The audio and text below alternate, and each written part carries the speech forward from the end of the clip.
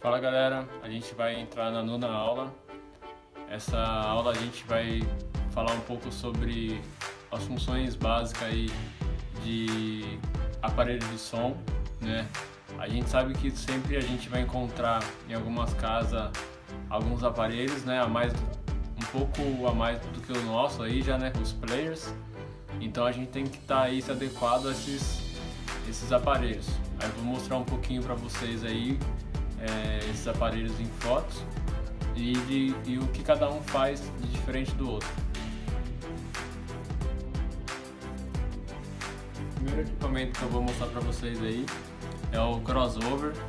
Ele serve para dividir a, a frequência né, dos sinais sonoros é, e amplificar rapidamente aí o, o, som.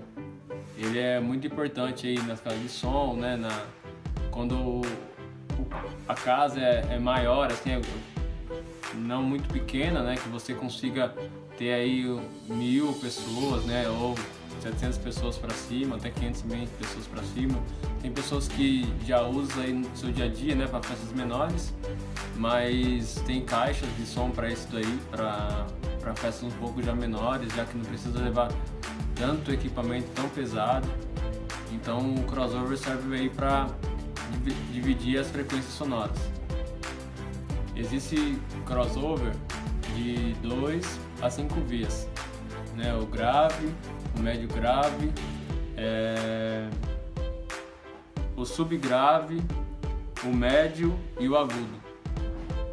Então vocês vão vão estar tá vendo aí é, esses crossover e você vai ver a diferença de um deles também nas, nas casas, né, para que, que serve é, o grave, o médio grave, né, tem, tem música que o técnico de som tem que estar tá lá em cima do som para não distorcer tanta caixa, então ele tá lá para isso, para só, ó, vou diminuir um pouco o grave, essa música já tem demais para não dar distorção na casa, ah, vou colocar vou colocar um pouco mais de agudo que eu não estou sentindo né, é, a música aqui direito, a fala do cantor e tal, né? A gente consegue já regularizar por ele também.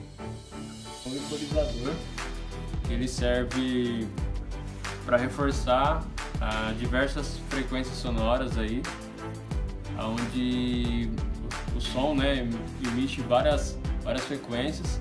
Ele serve para equalizar, então ele deixa tudo na mesma frequência para não sobressair é, um volume maior, maior, que o outro, tudo, né? Tipo, ah, tem dois equalizador, então a gente sabe que além do equalizador ali na, na mesa do mixer, o técnico de som também tá com um equalizador lá para não sobressair o volume, né? Para não dar distorção nas caixas.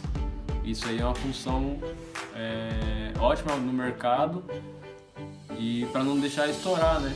Senão a gente, sem equalizador, a gente estoura muitos graves, muitas caixas a gente não tem muita garantia disso aí e que o preço para reformular também é caro, né? A gente não tem né, o nosso, nosso preço que a gente passa para o cliente final já é um pouco apertado. Se a gente conseguir manter ele e não tiver muita manutenção, é a melhor forma de ter um equalizador aí em mãos para não, a gente não perder essa, essa vantagem que a gente tem.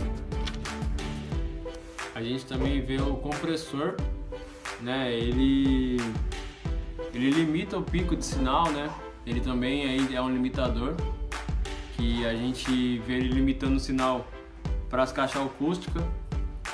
Então ele ele não deixa estourar, né, as caixas. Esse esse compressor.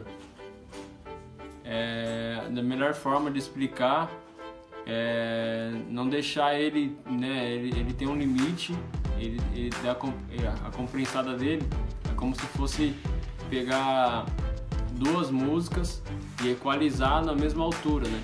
Ele não deixa sair daquela frequência. Então o compressor deixa a voz, a tonalidade da voz e o e a, e a instrumental na mesma frequência. Ele não deixa nenhuma maior que a outra. Então ele serve para isso aí. Também o amplificador né? O amplificador, como, como o próprio nome diz, ele emite um sinal para a caixa, caixa acústica, é onde a potência dele é medida em watts. Então ele, ele consegue medir em watts, então toda caixa que você vai ver lá, ah, sei lá, 50 watts, é, 550 watts ou 1000 watts, então ele sabe, sabe que tem a caixa amplificada e por ele você sabe a quantidade de watts. Aí umas aulas para frente eu vou passar como que mede isso daí tudo certinho. E aí como algumas pessoas já viram, temos a, a caixa passiva, né? A caixa passiva ela precisa de, de uma fonte de energia, né? Ela, ela, ela recebe sinal e ela só recebe sinal na verdade, também tem as passivas que recebe, que distribui, né? No, no in e no out, mas ela precisa de uma fonte de energia, né? Ela precisa de um amplificador externo para ela poder estar tá rodando aí, para poder mandar sinal de áudio para fora aí. Então a caixa, a caixa passiva ela não vai ter um amplificador interno, né? Ela precisa de um externo para ela se alimentar disso daí e conseguir transmitir a onda sonora. A última dica é da caixa ativa, né? A caixa ativa ela ela já tem um amplificador, né, interno e aí onde você também consegue regular lá o médio, o agudo e o grave. E, e ela não. A alimentação dela é só um ponto de energia. E aí você tem que alimentar ela com, com um sinal, né? Ah, vou ligar, sei lá, meu celular na caixa. Aí você precisa do, do plug do celular, né? Que a gente viu lá qual, qual eram os plugs, então tem o, o P2.